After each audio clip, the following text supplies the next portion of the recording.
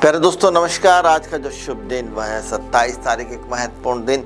यदि आज के दिन आपने जन्म लिया था आप काफ़ी मेधावी होते हैं उर्वर क्षमता से युक्त होते हैं। ब्रेन काफ़ी स्पीड, तेज गति से काम चलता है। लेकिन कई बार आप जोश में होश खो बैठते हैं और हो सकता है ऐसा ही कुछ इस साल आपके साथ हुआ हो, जो भी आपने प्लान बनाए हो। उस प्लान में अचानक से कुछ ऐसी स्थितियाँ आई हों कि उस प्लान में आपको तकलीफ़ें आ गई हों या अचानक से कुछ विपदा या परेशानी का आपको सामना करना पड़ा हो।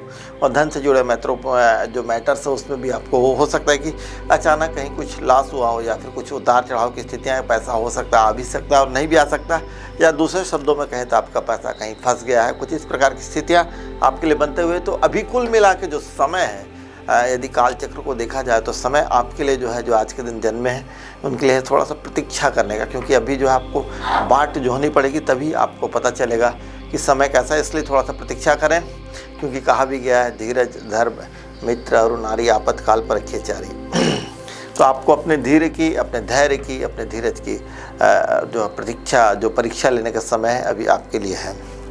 देश के लिए आज का दिन शुभ, लेकिन पड़ोसी देश थोड़ी बहुत चालाकी, आज के दिन कुछ ऐसा कर सकते हैं। थोड़ी चालाकी की स्थितियाँ भारत के साथ बनती हुई, जिसकी डेट ऑफ़ बर्थ एक दस उन्नीस से अट्ठाईस है। आज के दिन हो सकता है, समय तो अनुकूल कुछ नए चीज़ें भी आ रही, लेकिन हड़बड़ी में गड़बड़ी ना हो, कई बार जोश में आदमी होश खो बैठता है। तो ऐसी कुछ स्थितियाँ आपके साथ हो सकती है। तो जोश में होश मत खोइए और कूल गति से आगे चलिए।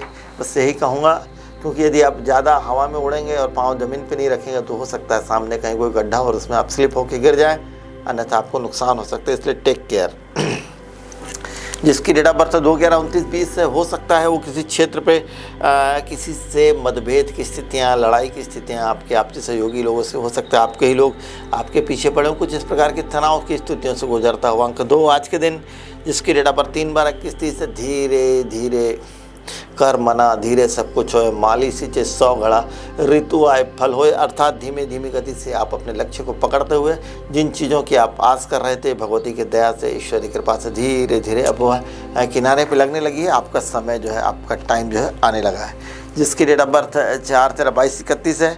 बहुत तेज़ गति से काम करना चाहता, तैयारी पूरी है, लेकिन थोड़ा सा आपको रुकना पड़ेगा।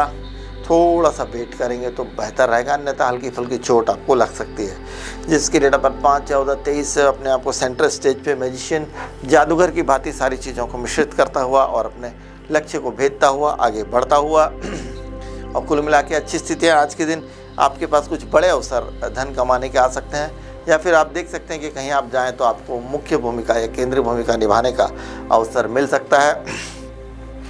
जिसकी डेट ऑफ़ बर्थ छः पंद्रह, चौबीस है, उसके लिए कुछ बड़ी सफलता की ओर जाता हूँ। अंक छः आज के दिन और आपको बड़ा लाभ होता हुआ चीज़ें अनुकूल होती हुई।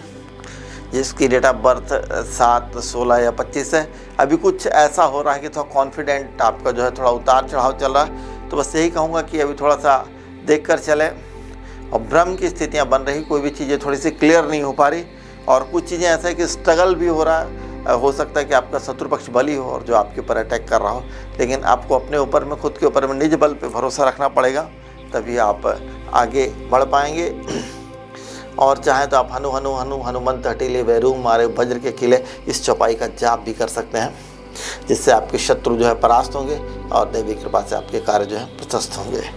जिसकी डेट ऑफ़ बर्थ है आठ, सत्रह, छब्बीस है, उसके लिए जो समय है अभी थोड़ा मेहनत करने का।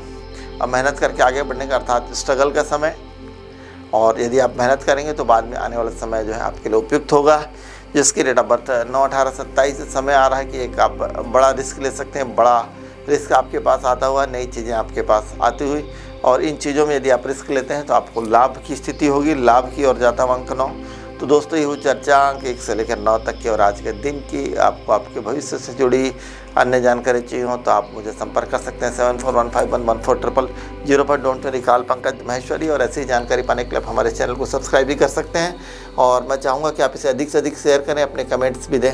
धन्यवाद। Thank you